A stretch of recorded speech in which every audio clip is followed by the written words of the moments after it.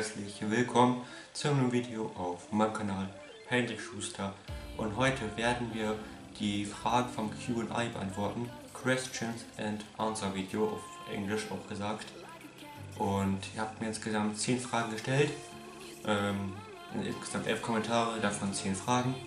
Ich werde auf alle Fragen eingehen und werde die Fragen beantworten. Auf jeden Fall danke an die Aufruf auf, das Video. Ich habe hier mein Handy stehen und auf momentan haben das Video fast 60 Aufrufe. Auf jeden Fall Kuss geht raus. Wenn ihr noch, ähm, wenn du da draußen noch kein Abonnent bist, kannst du mich gerne abonnieren, denn ich habe bei YouTube Analytics geguckt. 89,9% meiner, äh, meiner Zuschauer sind keine Abonnenten. Bitte lasst doch gerne ein Abo da, ist kostenlos und unterstützt mich auf dem Weg zu den 2000 Abonnenten, den wir gefühlt in drei Jahren erreichen werden. Ähm, dies dazu ist auch noch eine Frage, die wird später noch beantwortet. Auf jeden Fall, wie gesagt, danke an alle, die die Kommentare geschrieben haben. Und momentan im Sommer bis ähm, FIFA bis so Mitte, Ende September wird es momentan wieder nur ähm, entweder Map-Updates oder halt Challenges geben oder halt solche Videos, da noch keine Serie draußen ist und momentan alle Serien voll habe, die es aktuell gibt, außer Fortnite-Karten. Aber da könnt ihr euch überraschen lassen, vielleicht schon Freitag kommt dazu noch ein Video. Auf jeden Fall habe ich die Fragen jetzt nicht herausgesucht. Ich werde jetzt immer ein bisschen unten gucken müssen bei der Frage, um sie vorzulesen. Die erste Frage kommt von Zen, ist Rune, der wohnt in meiner Stadt. Geht zwar nicht auf meine Schule, aber ist auch ein Kollege, mit dem ich öfters zocke. Er schreibt, ähm, ein gutes Video. Frage, hast du das Heft von Panini der, von der WM 2014? Und wenn ja, könntest du dazu ein Video machen? Ja, na klar, Rune, ich habe das Heft, ich habe es sogar viermal voll. Ich habe das Heft viermal voll, habe davon äh, von den viermal auch schon eins verlost. Levi, Kuss und Ehrenbruder, Grüße gehen raus an dich, natürlich auch an Rune. Ähm, ähm, die Levi hat schon eins bekommen von den vieren. Drei müsste ich noch haben, also eins, was ich wirklich voll habe mit jedem Sticker, den es gibt, auch mit den Coca-Cola-Sticker, mit diesen ganzen Sticker, die man irgendwo bekommen musste, McDonalds und was weiß ich. Ähm, da habe ich alles drin bei den Stickern. Und ähm, ja, na klar kann ich dazu dann auch noch ein Update machen. Auf jeden Fall ohne Kuss und Danke geht raus. Dann haben wir The Real GGHD, also GG, mein Moderator, fragt. Hast du noch Geschwister? Nice Video, ich finde es cool, dass du ein Q&A machst. Danke für den, ähm, für den, für das Lob ja, kann ich gerne öfters mal tun, als wenn ihr Fragen habt. Und nein, ich habe keine Geschwister. Ich bin ein Einzelkind und bin ich eigentlich auch ganz froh drüber. Aber manchmal ist es einfach langweilig, aber ich mag es. Also ich habe mich dran gewöhnt. Mehr gibt es dazu nicht zu sagen. Dann kommt eine sehr interessante Frage, die mir eigentlich noch nie richtig gestellt wurde. Spiele aller Art fragt, bezahlst du deine Karten und Sticker selber oder bezahlen es deine Eltern? meine Eltern bezahlen nicht viel. Also ähm, ich kriege Taschengeld, davon muss ich mir meist ähm, zumeist äh, meine ähm, nur eine Zeit Mika mir geschrieben. das war so komplett. Also zumeist, also meine Eltern geben mir Taschengeld, von dem muss ich mir meine Kartensticker kaufen. Und wenn zum Beispiel jetzt auch, wenn zum Beispiel jetzt ein Event ist oder irgendwas neu rauskommt, ähm, wird das ähm, bezahlen meine Eltern dann öfters. Aber eigentlich größtenteils bezahlen meine Eltern die Karten. Äh, ich auch. Zum Beispiel jetzt ältere Mappen habe ich jetzt in letzter Zeit gekauft, jetzt auch noch mal bald ein paar Videos zu geben. Die haben meine Eltern mir gekauft oder auch zum Beispiel, nee, die ganzen Displays und von Matchtext und alles von den neuen Serien, die immer rauskommen, die ich immer öffne, auch Fortnite und so, die habe ich mir selber gekauft. So größtenteils kaufe ich mir das selber schon. Die Frage war jetzt ein bisschen komisch erklärt, weil Mika die ganze Zeit schreibt. Mika. Was schreibt Mika schon wieder? Dann fragt Levin, der Ehrenbruder habe ich vorhin erwähnt, Levin Schenk. Meinung zu FIFA 20 bist echt ein Ehrenmann. Danke dafür, du bist auch ein Ehrenmann. Kuss geht raus. Sagt nun dazu Impulsgranate bei damals, die äh, Mika Corwin und Levi Kuss. Ähm, Mann. Ja, FIFA 20, es kommen ja Wright, Drog, Drog, Drogba. Drogba, Pirlo, ähm, wer kommt noch? Koman, ich glaube die Legenden sind bisher bekannt, die kommen sollen. Und sie dann. Und die sind auf jeden Fall cool. Aber was, was willst du mit 30.000 Legendenkarten, wie auch Tim Lacker gesagt hat, ähm, E-Sportler von Schalke 04, wenn das Spiel nicht läuft. Ähm, ich finde, League muss ein Rangsystem haben. Äh, wie Division Rivals ähnlich, weil ich, mein bestes Ergebnis war 15 zu 13, das war ein einziges Mal, da habe ich mit Leon gespielt, wir haben wirklich gut gespielt. Sonst haben wir öfter Silber 1 und Silber 3 erreicht. Ähm, mehr haben wir. Boah. Sorry. Kuss. Ja, das war's auch komplett. Weil sonst nicht. Ich finde, Weekend League muss ein bisschen fairer gemacht werden.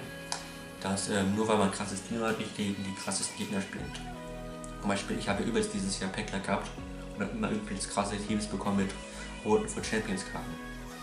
Das finde ich muss geändert werden, sonst ja, Karrieremodus bisschen, aber sonst sollte es nicht laufen. Das war die Frage von dir.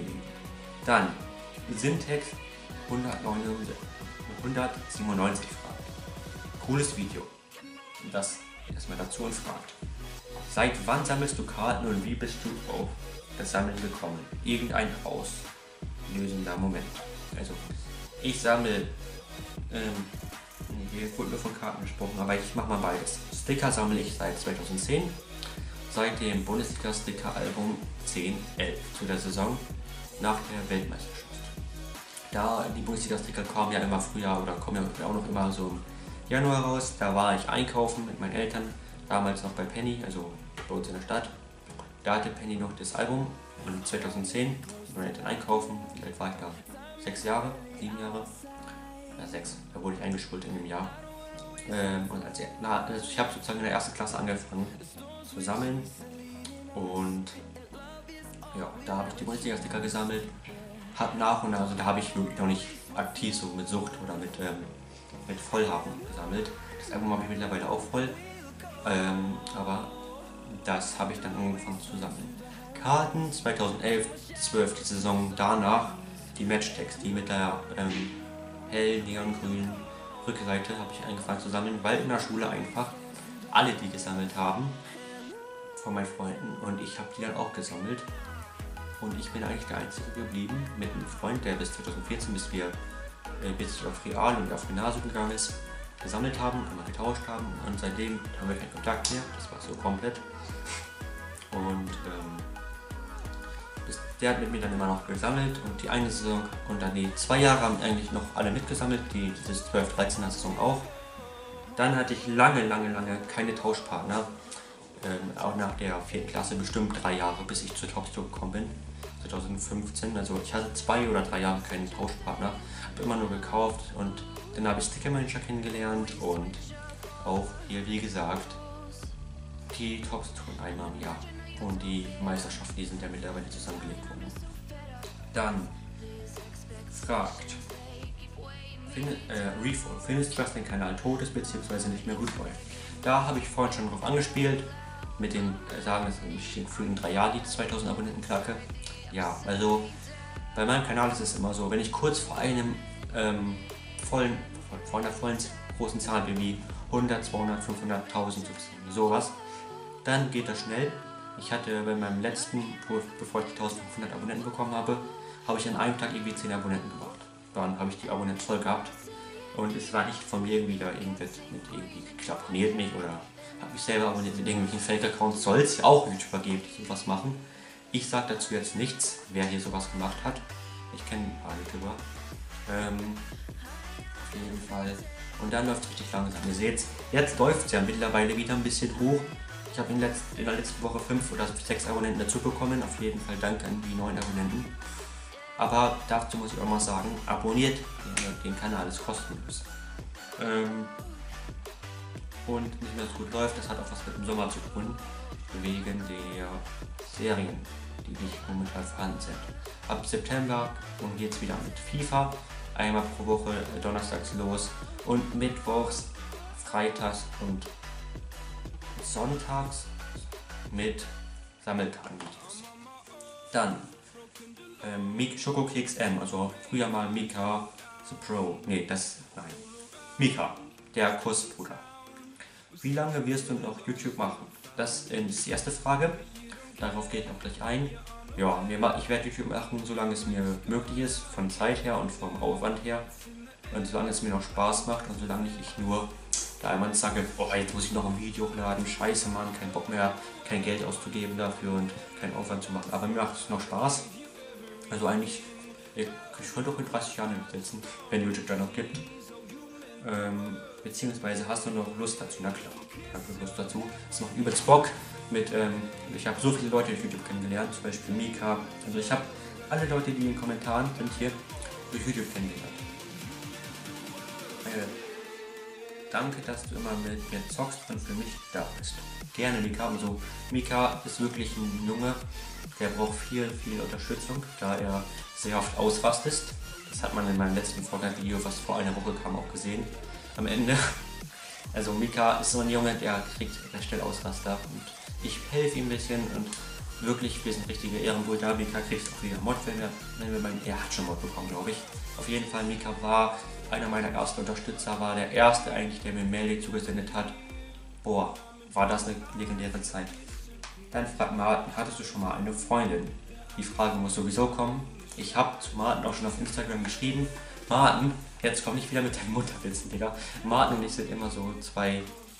Wenn wir immer zocken, dann ist es immer so gleich, sagen wir Moin, wie geht's? Und dann geht's los mit Mutterwitz. Die ganze Zeit. Die ganze Zeit gegeneinander. Dann sage ich, dann sag ich, dann sagt der eine immer, ähm, dann sage ich zum Beispiel, ähm, pass auf, der hat 35 IQ, und dann sagt er, wie deine Mutter. Und sowas sagt er immer dann. Ähm, und das ist halt, mit Martin ist das halt ein bisschen komisch. Er hört auch immer so laut Musik, wenn wir zocken, auf TikTok oder Musical.ly, ich weiß nicht, wie das heißt mehr. Und ähm, dazu schreibt noch was, müsst ihr selber lesen. Also das lese ich nicht vor. Das ist auch von Martin nicht so gewollt von Kappa. Ähm, ja, ich hatte eine Freundin zuletzt in der Grundschule, möchte momentan aber auch keine haben. Äh, Mika the Pro schreibt einfach nur ah ja. Da sage ich einfach nur, was soll das? Und Soccer TV 5, der früher meine Thumbnails gemacht hat, der mich auch letztens gefragt hat, ob ich welche brauche. Nochmal danke dafür. Ähm, nein, ich brauche momentan keine. Ähm, er, hat, er, hat, aber als erstes in den Kommentaren geschrieben, warum bist du ein Hamburger? Also wenn er meint, dass ich ähm, Hamburg-Fan bin, nein, ich bin kein, ich verstehe die Frage nicht, muss ich sagen. Nein, ich bin kein Hamburg-Fan, ich bin kein HSV-Fan, ich bin Bayern-Fan und ein bisschen neuerdings Gladbach-Fan mit Schalke, also Gladbach und Schalke und Gladbach, Schalke, Bayern ähm, und in England Norwich City. Das sind meine Lieblingsvereine, die ich so habe eigentlich. Ähm, Osnabrücken mag ich auch ganz gerne aus der zweiten Liga. Aber dritte Liga Metten ist auch ein Ehrenverein. Und vierte Liga, ich darf nicht zu viel sagen, sonst wisst ihr ungefähr, wo ich wohne. Ich sage lieber nicht den Verein, den ich in der vierten Liga mag. Ähm, auf jeden Fall wird auch noch bald ein richtig cooles Video, zwei richtig coole Videos auf euch zukommen. Und ähm, wenn ihr meint, ob ich ähm, in der Nähe von Hamburg wohne, ja, wie gesagt, habe ich ja gerade gesagt, ich darf nicht zu viel sagen. Die Regionalliga geht es um ein, zwei Mannschaften, die so in der Nähe von mir spielen. Und das war es auch schon vom Video. Das waren alle 10 Fragen. Ich habe jetzt alles, alle 11 vorgelesen, weil Mikas, Mikas Pro-Frage war ja keine. Da hat er nur einfach nur ein Ja geschrieben. Auf jeden Fall grüße ich nochmal alle Leute, die hier das geschrieben haben. Korven grüße ich auch nochmal. Auch wenn er es nicht hinbekommen hat, bevor ich ihm, äh, bevor es Schluss ist mit dem Video äh, Dreh, also bevor ich vor dem Video drehe, was zu schreiben. Auf jeden Fall Kuss geht an alle raus. Bald kommt ein Gewinnspiel wieder. Abonniert gerne, liken. Jetzt kommt noch eine Endkarte. Hier könnt ihr mich abonnieren und hier noch ein letztes Video abchecken, ähm, was euch YouTube empfiehlt. Ich würde sagen, das war's. Bis zum nächsten Mal und ich würde sagen, dann sehen wir uns bald wieder. Ciao, tschüss und auf Wiedersehen.